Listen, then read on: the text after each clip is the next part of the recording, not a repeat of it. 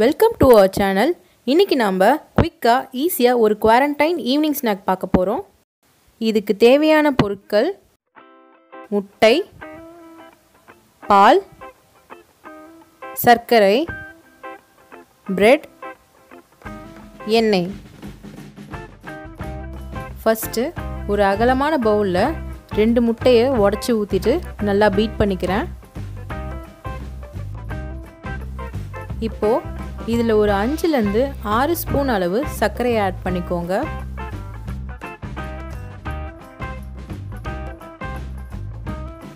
இப்போது சர்க்கரை நல்லா கரையிற அளவுக்கு மைல்டாக பீட் பண்ணிக்கிறேன்.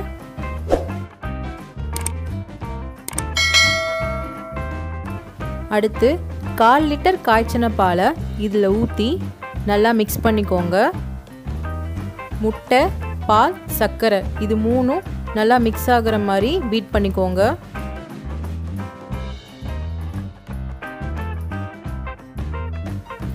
தோசைக்கல் ஹீட் ஆனதும் அதில் எண்ணெய் ஊற்றிக்கோங்க எண்ணெய் நல்லா பரவலாக இருக்க மாதிரி அதை எல்லா இடத்துலையும் அப்ளை பண்ணி விட்டுக்கோங்க.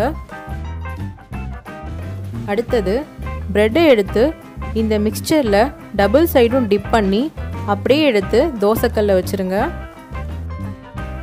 ப்ரெட் வச்சதுக்கப்புறம் அடுப்பை மீடியம் ஃப்ளேமில் வச்சு இதை டோஸ்ட் பண்ணுங்கள்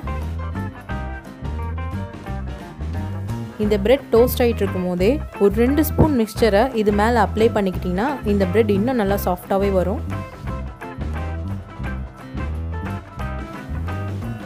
இப்போ பார்த்தீங்கன்னா இந்த அளவுக்கு டோஸ்ட்டாக இருந்தால் போதும்.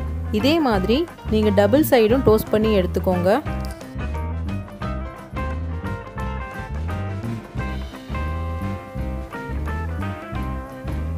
அவ்வளோதாங்க.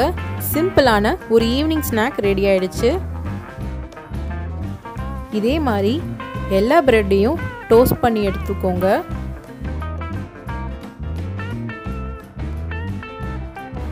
ஸ்வீட் பிடிக்காதவங்க சர்க்கரைக்கு பதிலாக சால்ட் தேவையான அளவு ஆட் பண்ணி டோஸ்ட் பண்ணும்போது மேலே லைட்டாக பெப்பர் அப்ளை பண்ணிக்கோங்க.